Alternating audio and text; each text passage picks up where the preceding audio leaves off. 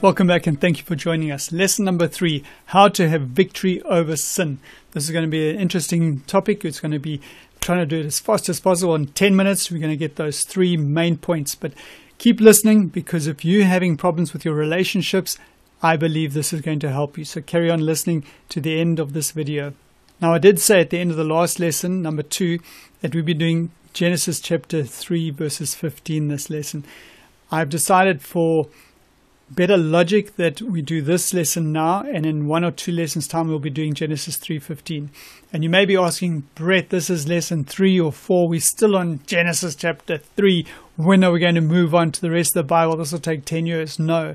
Once this is done and our foundations are correct it's going to go much much faster. You'll watch and it will enlighten us as to the backdrop of every single scripture that we read there can be Bible study which you can come to wrong conclusions, and I don't want to do that. So I want to rightly divide the word of truth, and that's why we're laying these foundations. You know, in the Roman Forum, we look at these columns and they stand there for thousands of years, and how's this possible? Well, look at that foundation. Those railings there are like waist high, so that's over nine foot there of solid rock foundation. And the reason why we have good foundations is good foundations will avoid this kind of problem in the future. This lesson is going to be what is Satan's strategy to make you fall? How is he going to put his foot in front of you and trip you up so that we can fall? If we understand his methodology, it's going to really help us to overcome sin and temptations that he puts in our lives. Now, the thing that makes serpents very effective is their stealth. They lie undetected, and in an unsuspecting rodent or something comes along and boop, they catch it. So if you didn't see him, there he is over there. So this is their methodology: is to lie in stealth, to be undetected. Now I see you, and when I see this guy here uh, with the with the light that comes from the Word of God, we can avoid him. I'll take a wide berth around this guy. So I call this the deception of undetection. I don't know if that's a word, but now it is, right? And so to be aware of his attacks is going to be the key to overcoming sin in our lives. So we're going to be looking at three simple steps of how to identify Satan's maneuvers in our lives. So we're going back to Genesis 3. So what I want you to do right now is to look at this verse and highlight or underline or write on a piece of paper what jumps out at you. You did pause the video, right? Okay, let's carry on. So number one, he is more cunning than all the beasts of the field. So we need to know that we don't have an unintelligent foe. He is extremely studious in how we think, what we do, where our weak points are. Each and every one of us have vulnerabilities in our lives. He sows doubt over God's word. If you got that, fantastic. There you can see in other translations too, where he says, Can it really be that God has said? Is it true that God has said? Has God really said? See those doubts? Now, the next verse. Pause the video again and have a look at this one. what I'm picking up is Satan is plainly contradicting God's word. Absolutely in your face. No, it's not like that. It's like this. He attacks the integrity and character of God. He says that God cannot be trusted. He's lying to you. And the result of that is the breakdown in the trust and the relationship between God and man.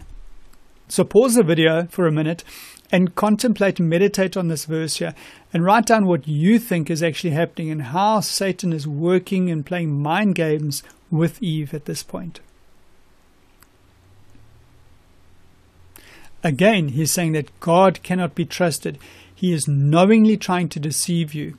In other words, he's just saying that you will die in order to keep you from something. Have a look there. He says, For God knows in the day that you eat of it, your eyes will be opened.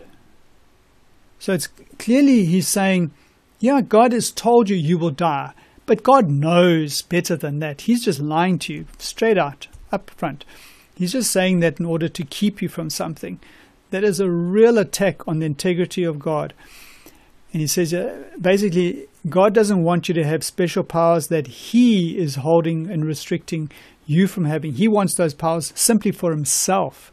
and he doesn't want any competition. And so he's made up this lie that, well, if you eat of it, you're going to die. But that's not really the case. What's really going to happen is you're going to have powers that make you like God. Hmm.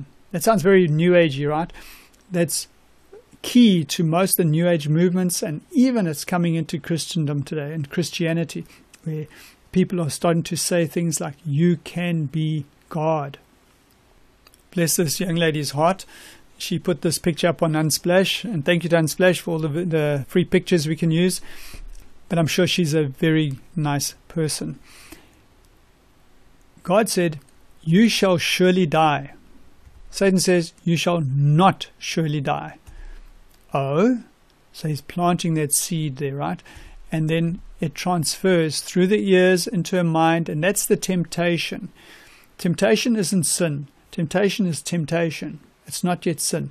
But when sin germinates and it gains root in our minds and it grows, then it causes action. Sometimes a sin might just be something in the mind, and other times it'll be manifested in action.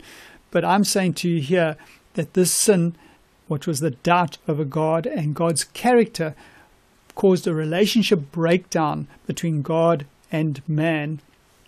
And that's where the sin was. I'm not saying that eating the fruit wasn't sin, but I'm believing that sin happened way before that fruit came to her lips. It was actually the breakdown in trust, the breakdown in relationship, and thinking evil of God. That's where the sin really started.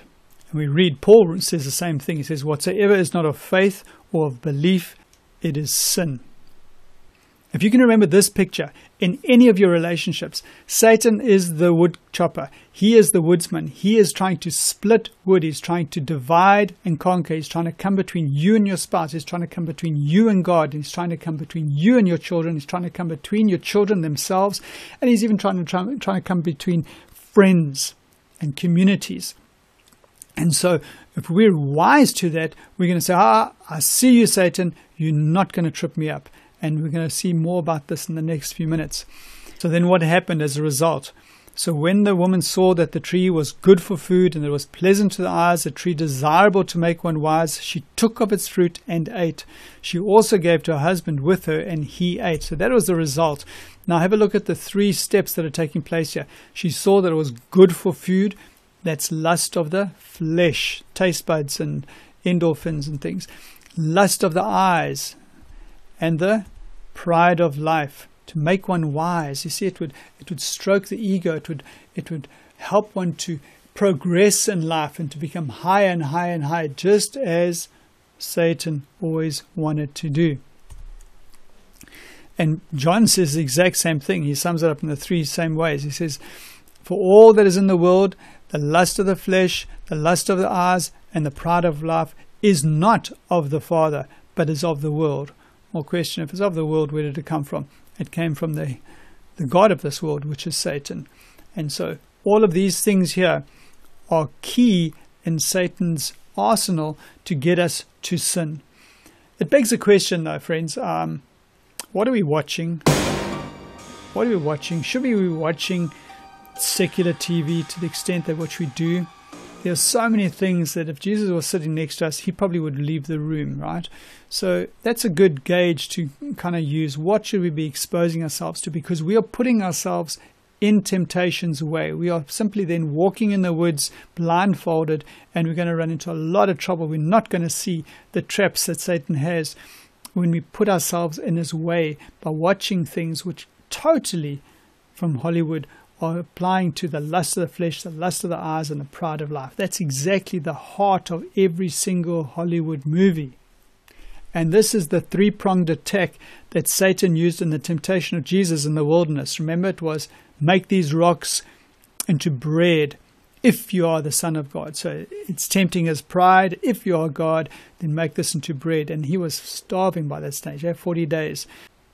And so if you look at each of those three temptations of Jesus in the wilderness, they are all applying to, or Satan is appealing to the nature of man that Jesus was in, the flesh that you and I have. Paul writes to the Corinthian church, he says, You are still carnal. You haven't been converted yet. You need to become spiritual, not carnal. Carnal is fleshly. So you are the old man. You're still going, you're still being driven by fleshly lusts and desires. For where there are envy, strife, divisions among you, are you not carnal and behaving as mere men?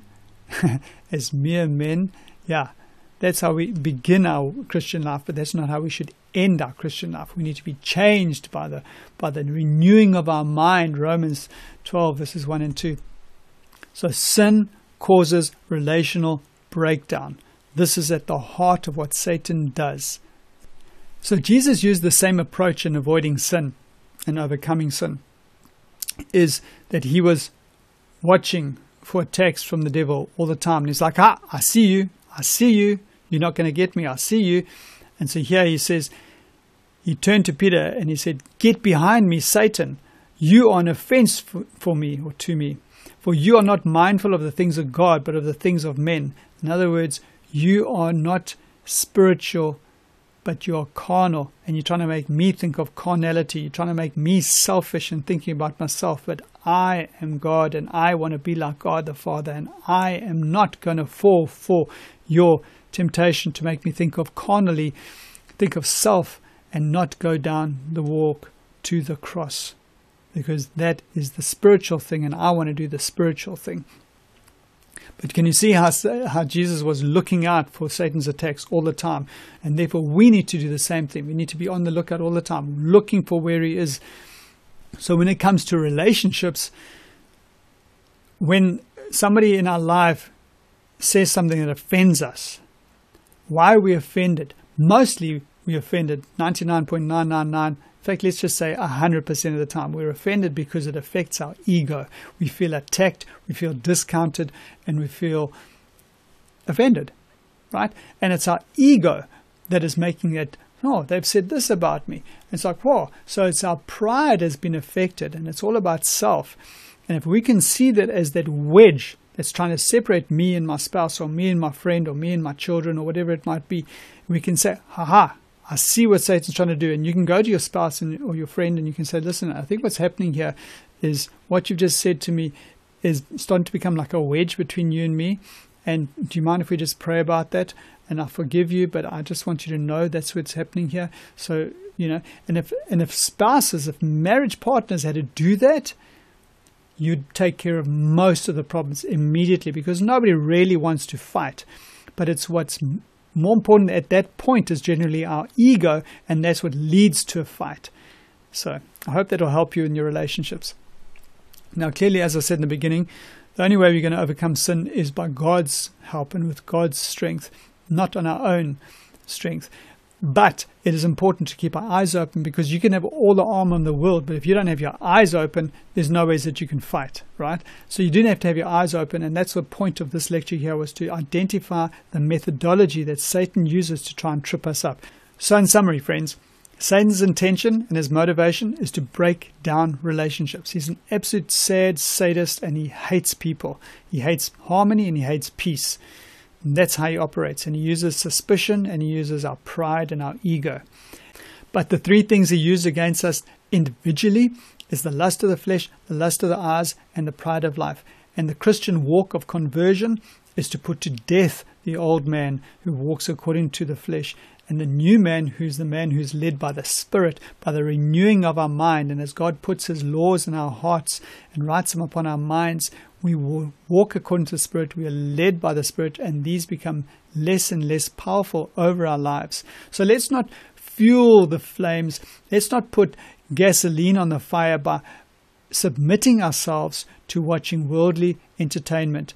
And all of these things here, I hope, will help you in overcoming sin.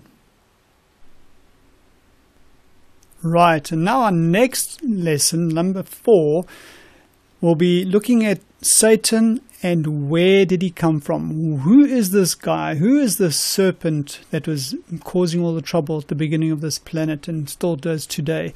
Where did he come from? Why is he around? And what's the deal there? So, if you want to prepare, read those passages in Isaiah and Ezekiel, and I'll see you in the next lesson.